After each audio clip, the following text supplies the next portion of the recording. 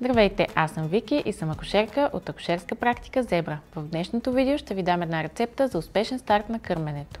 В нашата практика всички акушерки сме минали през обучение за консултанти по кърмене, подкрепяме и насърчаваме жените да кърмят активно. И така, родили сте, имате едно безкрайно сладко бебе, но не знаете какво да правите с него. Кой не е бил в тази ситуация? Само който не е раждал. А ето и кои са стъпките за успешен старт в кърменето. Първа стъпка е да слагате бебето възможно най-често на гърда. Това означава колкото често бебето пожелае, колкото често даде знак, че иска да суче, да бъде слагано на гърда. Не се притеснявайте, бебето няма да се разглези, нито пък ще ви каже остави ме на мира, писна ми да суча. Бебетата не работят по този начин. Докато бебетата са все още в отробата, те получават хранителни вещества постоянно. Затова е трудно да обясните на новороденото бебе, че то сега трябва да яде по час, защото вие сте майка му и искате да се наспите и то да бъде така добро да изчака спокойно до следващото кърмене. Когато се роди, в главата на бебето е едно единствено нещо. Имам майка, при нея ми мирише на сигурно, искам да бъда постоянно там, искам да се уча. Това е единственото, което ме интересува. Така че хванахте ми мисълта. Хранете бебето възможно най-често. Не се притеснявайте, предлагайте му гърда всеки път, когато то даде сигнал, че е гладно. Тоест, всеки път, когато си лапа ръцете, когато промрънква, или когато се разплаче. Ако ви се е паднало дълбоко спящо новородено и вече са минали 3 часа от последното кърмене, е време да го събудите и да му предложите гърда. Тъй като когато оставяме бебетата да спят толкова дълго, те пропускат хранения и рискуваме да загубят тонус, сили и да бъдат недохранени. А в началото е от ключово значение бебетата да се хранят достатъчно често и в достатъчни количества. Въпрос номер две от най-често задаваните въпроси е как да разберем, че бебето се храни достатъчно. За да сте сигурни, че бебето се храни достатъчно, трябва да му предлагате гърда не по-рядко от на всеки 3 часа, на всяко кърмене да предлагате и двете гърди и да следите бебето ви да суче активно поне 15 минути от едната гърда. Как да разпознаем активното сукане?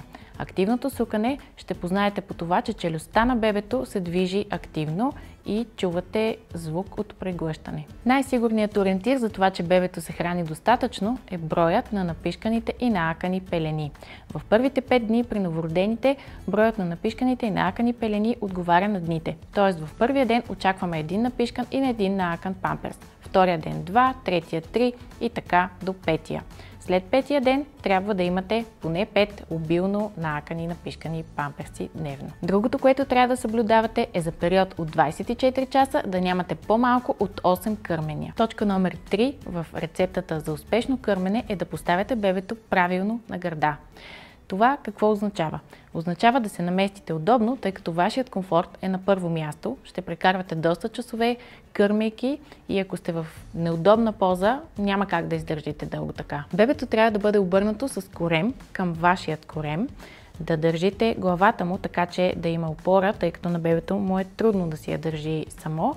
И с другата ръка да му подадете гърдата, така че да я насочите към устата му по начин, по който то може да хване не само зърното, а цялата ареола. Един много често срещан проблем в началото са разранените зърна. Причината за тях може да бъде неправилното поставяне на бебето на гърда. Затова е от ключово значение как правите това и е много добра идея още в първите дни да се консултирате с човек, който може да ви даде насоки за това как поставяте бебето на гърда и дали всичко изглежда наред. Ако имате болка или притеснение, че нещо не е наред, не се колебайте да се свържете с консултант по кърмене. Тази помощ може да бъде изключително полезна и е много добра идея, възможно най-скоро да адресирате проблема си. Съвет номер 4 е да проверите дали мястото, на което ще раждате, позволява бебето да бъде с вас през нощта и през деня тъй като това е от ключово значение за успешното кърмене. За да кърмите бебето си на поискване, това означава през нощта също да отговаряте на неговите нужди. Тялото ви има уникалната способност да се синхронизира с нуждите на бебето. Затова е много важно то да бъде с вас през нощта. Тогава нивата на хормоните в тялото ви са различни и то очаква да получи сигнал от бебето за това какво количество кърма трябва да произвежда. Кърменето на строг режим под час води до недостатъчно количество кърма, нужда от дохранване на бебето и редица други проблеми. То не е съвместимо с изключителното дълго кърмене, което препоръчва Световната здравна организация. И последно, любимият ни въпрос. Имам ли достатъчно кърма? има ли нещо в гърдите ми след раждането.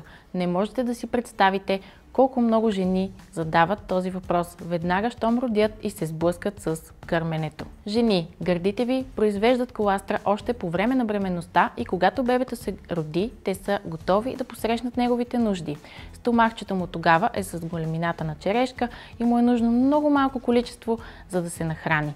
Още повече, това, което казах и преди малко е, че тялото ви има уникалната способност да се синхронизира с нуждите на бебето и отговаряйки редовно на неговите нужди, много скоро няма да имате притеснения, че нямате достатъчно кърма. Така че не се притеснявайте, можете да нахраните вашето бебе и гърдите ви произвеждат най-ценното, което можете да му дадете, а именно коластра. Изводът е хранете бебето си на поискване, отговаряйте на неговите нужди.